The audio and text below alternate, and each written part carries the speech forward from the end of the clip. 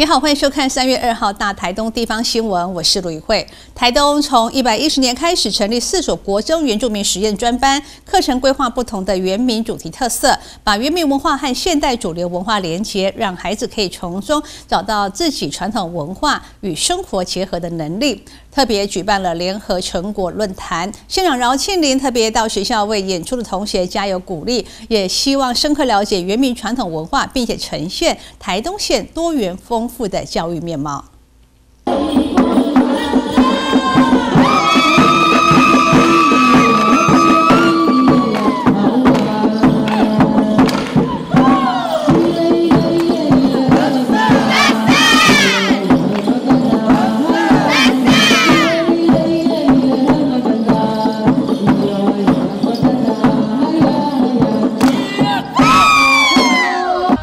由日本国中原住民族乐舞文创专班带来的精彩演出，学生在表演中也能传达原民的文化意涵。台东县府今天在艺文中心举办原住民实验专班联合成果论坛，而台东县饶庆林今天也特地到场为专班的师生们加油打气。大家知道我们四所这个原住民实验学校，呃，四个校长都是我们非常精挑细选。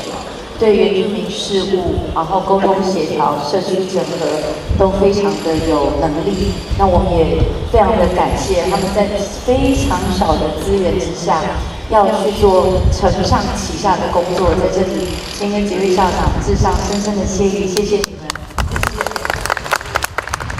那当然哈，原住民的乐舞是非常重要，所以啊，几位老师哈，在无法加薪的状况下。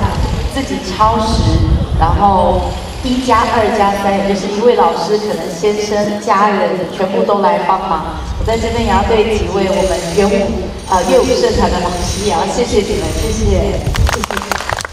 因为我常听说有的老师把他们家人家当都拿来用。县长也鼓励同学们更深入学习，了解自己的传统文化，寻找自己的根。呃呃。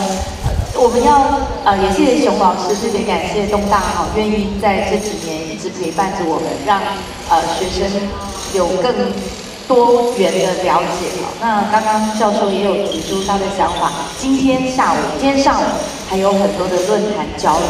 呃，最终其实我们台东非常希望，我个人非常希望原住民成为我们的特色之外，我们真的要往自己的。的土地去寻找，就是我们为什么要这样跳舞？我们为什么要这样唱歌？那我们为什么要尊敬我们的自然的祖先？那当我们去慎终追远之后，我们就有更大的力量，能够往前，能够去跟世界各国，我们尝试我们是南岛民族的一群，我们能够。很骄傲的跟南岛民族来交流我们都是同样的跟啊同样的，只是说着不同的，用不同的方式在对大自然表现我们赞颂的语言。